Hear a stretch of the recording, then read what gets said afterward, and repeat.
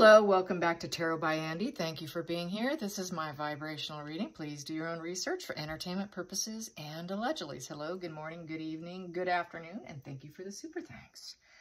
So I was asked on my other channel because I did a uh, spread involving Epstein's former BFF. He owned a modeling agency and he was found hung in his own jail cell with a uh, sheet. Uh, Kirby Summers channel. This is where I'm getting some of the ideas to do spreads. So if you haven't followed Kirby Summers, you might want to check her out. Uh, so it is said that Marcus Anderson and Meghan Markle are very much enmeshed in this situation. Uh, they know a lot. So I was asked whether or not they will it will come to light. If it will come to the forefront, will it be spoken about publicly in essence? Will it shine the light on them? Will there be any kind of um, public knowledge or, you know, will this, will this happen? Will this, you know, become more aware, basically? Um, let's first ask the pendulum. Will Marcus Anderson and Meghan Markle become known for their connection with Epstein? Will they become publicly known for their connection with Epstein? Will it come to the surface? Will it come to the surface? Will the two of them being involved ever make it to the surface? And I'm getting no. Is it because they're just bit players? Is it just because they were small-time players? Yes. Yes. Okay, so they're just small-time players. They're going to probably ignore the small-time players. She's She was really nobody to him. Um, as I did on my other channel, Tarot Time with Andie, I got that Maxwell butted heads with Markle and didn't like her. So there we go. Wild Child in reverse. being being uh, basically shut out. Uh, Maxwell, on my other channel, I got that she ended up really not liking Markle. She wasn't someone she could work with. She's too difficult. Even Maxwell couldn't work with Markle.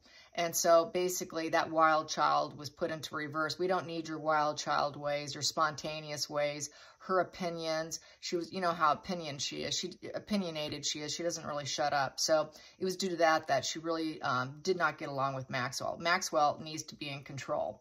She was sort of uh, the female emperor in the situation and wasn't going to have any of Markle. So Markle was basically let go by Maxwell is what I got uh, because of, of Markle's ways. You know, Markle won't shut up.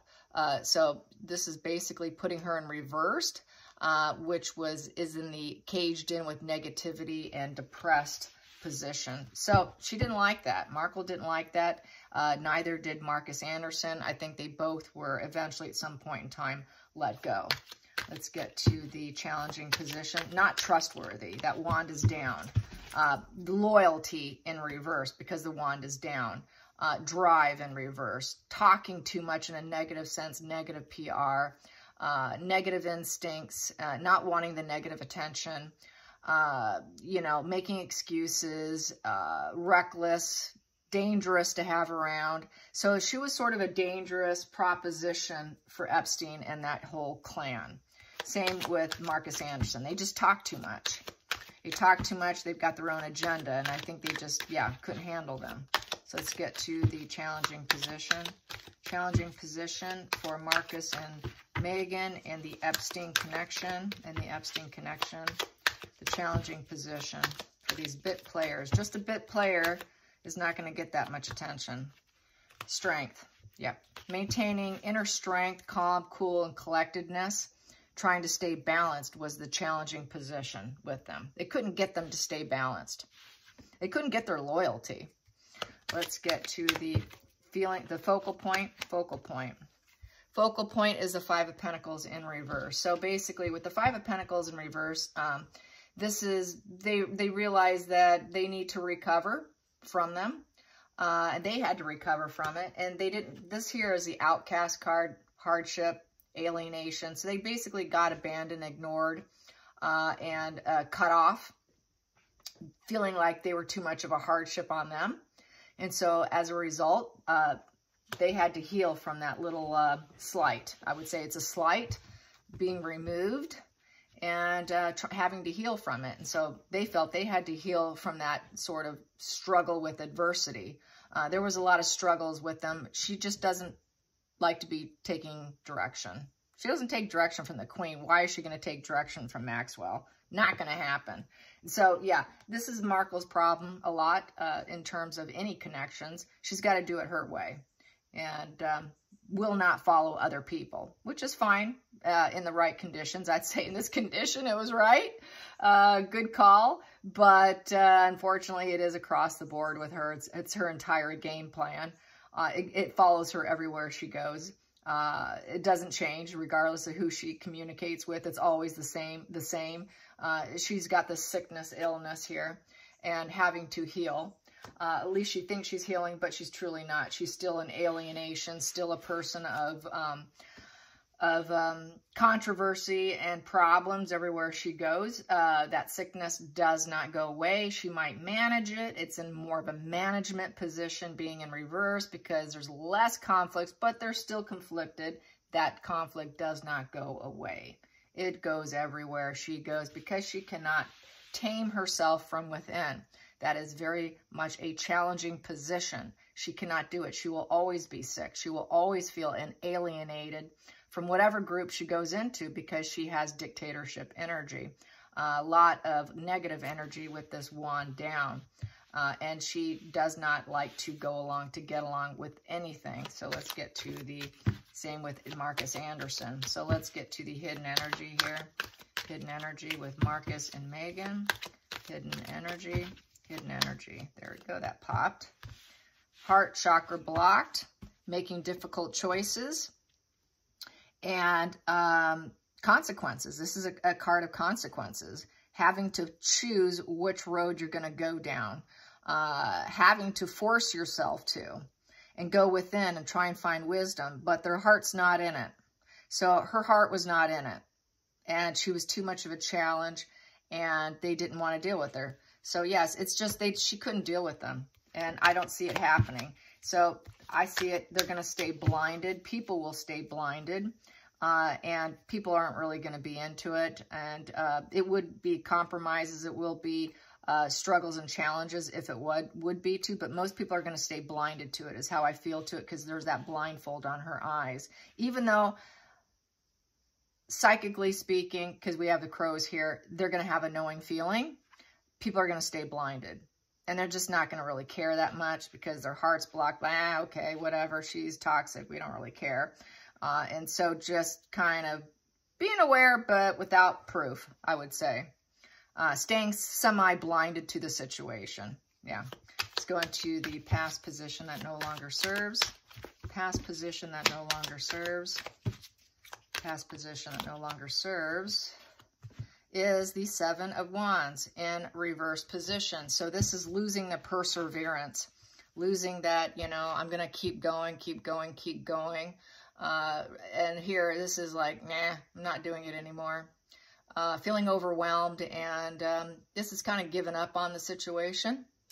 And uh, knowing that they put out, this could be the negative publicity here, the negative PR with the Seven of Wands, all the negativity of the Wands in reverse.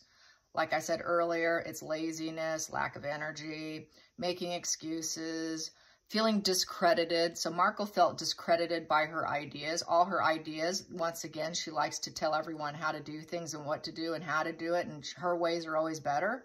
Uh, she was shut down. They felt that she was too volatile, volatile and dangerous to their operation. And same with Marcus Anderson. And they weren't going to protect. She didn't. She knew she wouldn't be protected, um, which kind of brings me to the feelings which someone did mention about Harry and the security, the need of security, uh, needing to be protected if you're in that group. Um, and here, not having that, that's low boundaries, uh, having the boundaries wide open. So I think she also felt that she wouldn't be protected uh, by being connected. And they were not going to protect Markle from whatever behavior she did. If she continued to talk and do things her way and not their way, we can't protect you. And so she knew that she wouldn't be protected uh, being linked to them as well. And they were not going to protect her. Uh, I think this is why Harry has security issues because he's probably aware of this and knows that they could be at risk. And that is another spread for another day. Or I could throw a few. But yes, I think there is this protection issue here. Wanting to be guarded and staying perseverant. Uh, so yeah, and, and this is here like a very zen mode, staying in your little protective bubble here, not feeling that protection. So yeah, that was kind of probably a scary experience. Let's go into the future, the future, the future, the future. It was a reckless decision to choose her, to have her. They, re they realized it was reckless, and that is gaslighting position. Lots of lies, you know, very reckless. And it was all a fantasy. It was all an illusion. Uh, this is kind of choosing which dream you want to choose. Which dream cup do I want to choose? Seven of Cups is very much about dreams and, and fantasy. Uh, what fantasy? It's like a fantasy game. And it just was kind of a reckless one. And it was a reckless choice to, to allow Markle in and Marcus. Let's get to the feelings in the situation. Feelings in the situation. Feelings in the situation. Boom. That did old flippy. And it was for possession and to get material gains. It's the greedy miser card. Yep, she did it strictly for finances. They wanted to possess her. Um, but Markle doesn't like to be possessed or controlled. Uh, it's all about trying to gain stability with the earthbound energies of the pentacles, which is all earthly goods, people, uh, money, uh, opportunities, travel, seeing things, doing things. But you're also property. You also belong to them. You are mine. I own you. She realized it was very reckless to enter it. She, her heart was not in it. And um, she had to stay somewhat blinded to what was screaming at her. She knew what was happening. And um, knowing there was no true protection here, that it was a very sick operation that you'd have to heal from, spiritually breaking you and um, energetically breaking you. Uh, low enthusiasm on her end, trying to stay strong, but it was a challenge. Oh, there goes my dogs. Just ignore them. So let's get to the outside influences. Outside influences. Outside influences. She probably sees a rabbit. I'm going to take just what's on top here, a judgment card. Yep, she had a wake-up call. Well, she did realize she could not balance her energy. I'll just say it. Had to leave. It's a sad goodbye. Uh, feeling triangulated and breaking free from it. Another, leaving the burden behind. Knowing there would be no hope or healing in the situation. There is no silver lining. And so she took off. That little wild child took off to go do something else, in essence yeah, let's get to the hopes and fears, hopes and fears. So she get, she was kind of given her walking papers and she willingly walked. Uh, the hopes and fears, hopes and fears, hopes and fears. Hopes and fears for Markle and Meghan. She wanted to be her own speaker. I am a voice of reason. I am going to speak my truth. My truth, even if it's just an illusion whatever it is, she's going to speak her truth. No one's going to shut me up. So, yeah, like my other channel, Tarot Time with Andie, uh, Maxwell couldn't get Markle to shut up. Her ideas, her ideas, wanting to control, not being able to be controlled, not liking being controlled. Nobody should, nobody can control Markle. Uh, she won't follow anybody. She thinks she is the thought leader. She thinks she's going to be the president of the United States. She thinks she is going to be a voice of reason for the globe. That's how sick she is.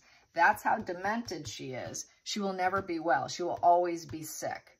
That will never change. She can manage her traits sometimes, but uh, the core is still there. It will never change her core will always have a broken heart. Her, her core will always be a blocked heart chakra. It really doesn't care about other people. It's always about her voice. Same with Marcus Anderson. It's all He's got female energy uh, because we know he's um, he's gay. So he is very feminine. He has a very feminine energy. And so I would say that applies to both of them, that Queen of Swords um, position there. So, And they're like BFF. They're like girlfriends, basically. Um, and she is very passionate about him, as we've seen by photographs. She's more passionate about Marcus Anderson than she's ever been about Harry. Very connected with him. Let's get to the final call here, the outcome with Maxwell, and will this come to light? Will this come to light? Will this ever come to light about the two of them being involved with Epstein? Will it ever come to light? Will it ever come to light? Will it ever come to light? There we go. We got here the Knight of Swords. I would say they're running away from it. That's how I feel looking at this. Now we're running away from it. We're going to go on another mission. I'm jumping on my my motorcycle here, which can be another night night horse. And um, I'm going to go do something else with my time. I'm leaving. I think they wanted to get the hell out of there quickly, as fast as possible at some point in time. They just, yeah, this isn't worth it. Let's leave. Let's leave. Let's leave. Let's get out of here uh, and do something else. We can go on another mission because the Knights are about going on a mission. Um, it is about self-reliance. We're not going to let them take care of us. We're going to take care of ourselves. I am very self-reliant. I don't need the crutch of them to help me. Uh, it's a workhorse card and we're going to stay the slow and steady pace together. You and me, Marcus, we're going to stay the course together. We can be workhorses together, and we can accomplish what we want, and we are going to win the race. It's a long, slow, steady race, one step in front of the other, and we're going to go on our own mission. We're going to go on our own mission and cut through the clouds. So I think they decided at that point, getting free, we can't do this, let's go our own way because uh, we're both thought leaders, Marcus. The two of us together, we can we can crush it. We can crush it, the two of us together. And then here we go. And then they like to possess one another. This is a possession. We're sticking together. Let's get to the center of the deck. Yeah. So yeah, we're not going to, we, you know, we're, we're not going to let them take us down. It's daddy dearest. I think they thought uh, Epstein was daddy dearest here with the emperor in reverse, very abusive um, controlling, um, you know, and they're not wanting to, they know they couldn't win with him. They couldn't win with him. It was just a crash and burn with him. They probably figured he's going to crash and burn eventually.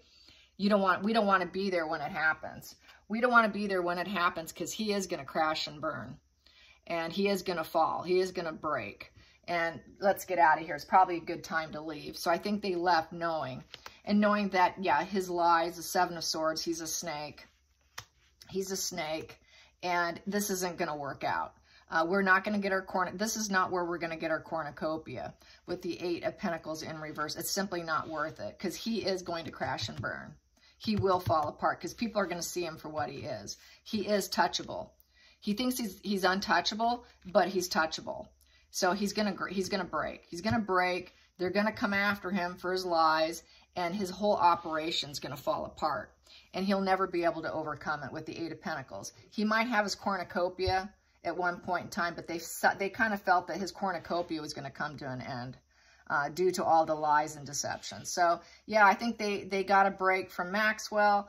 Uh, I don't see it happening. They decided, yeah, we're just, we are, we, we're going to crush it together. We're just going to crush it together. But they're both sick together. They're both sick. They both have the same illness. And that's why they're super like-minded. There was no protection. I think that's why Harry is so, so um, uh, anxious. Uh, a viewer said that his hands are really trembling in a recent clip or something, just trembling hands. That's his nervous system. His nervous system is completely whacked out right now. Uh, he has anxiety, and that's his fight or flight, just being really triggered. So he's really fearful, and I think part of this whole security thing has a lot to do with the fact that Markle was involved, and she may have leaked it to him. They, he may, he's probably aware of it. So I'm going to ask the pendulum that. Is, is Harry aware of this connection? And is this part of the reason? And then using, using, you know, oh, the UK isn't safe, all that is an excuse because really what it boils down to, uh, they're fearful that someone can come after them. So is it the Epstein connection of Markle that has Harry, has his nervous system into a wreck? Is that part of the problem with the security? Is part of the security problem the Epstein connection? Is part of the security problem the Epstein connection that Markle and Markle and Anderson had together? Is it part of the problem? Yes. Does it truly have much to do with the UK being unsafe? Does it truly have anything to do with the UK being unsafe? No. No. I'm going to ask again. Is it more to do with Marcus and Markle's connection to Epstein? Yes, I'm going to ask again. Does it have anything to do with the UK being unsafe? Feeling unsafe? Does it really have anything to do with that? No, it does not. No. So is he using that as an excuse? Is that his excuse? His scapegoat excuse? Yes, it is. So there you go. Now we know why he goes on and on and on and on about security. I hope you guys enjoyed this. Until next time, like and subscribe. Bye, you guys.